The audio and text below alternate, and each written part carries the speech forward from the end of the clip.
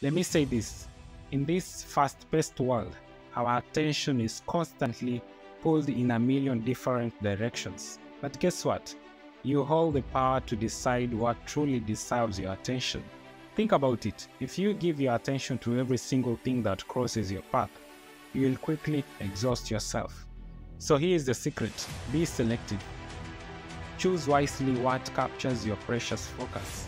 Life won't come crashing down if you let some things slide. Remember, you have the freedom to prioritize what truly matters to you. Don't let the overwhelming noise of the world drown out your own voice. So take a moment to reflect on what truly deserves your attention. Because when you learn to decide what truly gets your attention and what doesn't, you will find yourself more focused, energized, and ready to seize the moments that truly make life worth living. See you next time.